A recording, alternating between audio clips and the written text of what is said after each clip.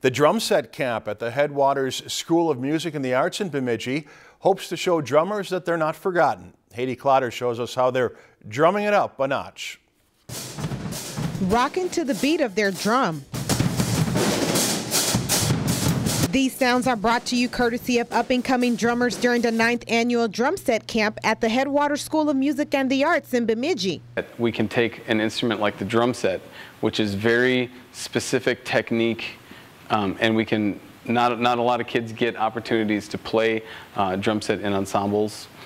And this is an opportunity to, to broaden our our horizons as far as technical stuff is concerned. Every year, the Region 2 Arts Council awards a grant to help make the camp possible for these students from local schools around the area. So with that grant money, we're, we get these great books made, and um, everybody at camp receives drumsticks. Kendall Ballard from Clearbrook Gonvick is in her fourth year at camp.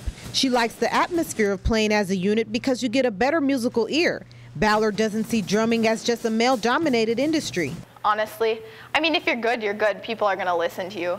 It's BYODS, bring your own drum set. During the five-day camp, students build a drum set and fine-tune it to their liking. A drum set consists of a bass drum, snare drum, tom-toms, and cymbals. Campers learn different techniques such as a drum fill. Drum fills bridge the verse and the chorus together. A few campers told me their favorite part of the camp is around the room when everyone plays a snippet of a song.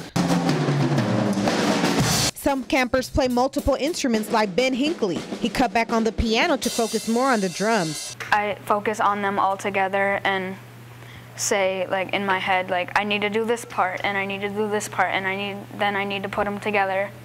Drummers go on and share the camp experience with their peers. These students are going back to their schools and they're playing they're the drum set player for the school's jazz band. Uh, or the middle school's jazz band. Former campers have gone on to perform on cruise ships or as vocal motive drum set players. Whether drumming is a hobby or you want to make a career out of this, the possibilities are endless. In Bemidji, Haiti Clotter, Lakeland News. Tomorrow is the last day of the camp and students will perform at 3 p.m. at Headwaters School of Music.